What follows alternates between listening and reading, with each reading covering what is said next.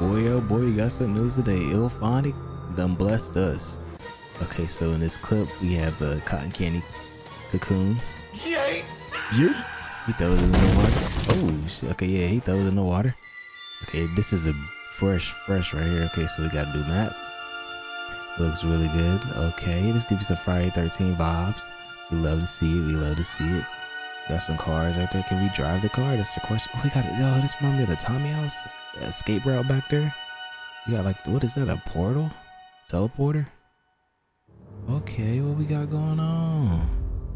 Now we we moving deeper into the woods. Also, oh, okay, okay. Wow, this is bro. This got to be a big map. Got a bridge. Okay, okay. We got a map right there. Like cabin. We got a little cart train, cart track system. We also got a lighthouse. Wow. Okay. What is that? That gotta be a, like a revive system or something, right? And we're going over. Whoa, what is this? We got a beach, beach area. Got a dock, beach house.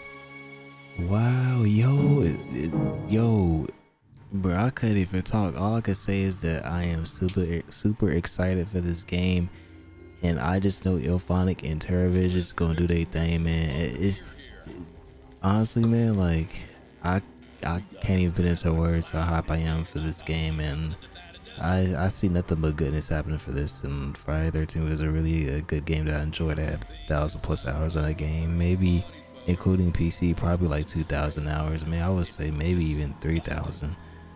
But yeah, man, I hope you enjoyed this video. And this clip came out like I think it was like earlier today.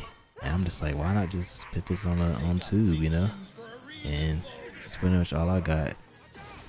And make sure y'all pre-order game. comes out June 4th. You pre-order get to play the game a week before release. So, peace, your boy K and I'm out.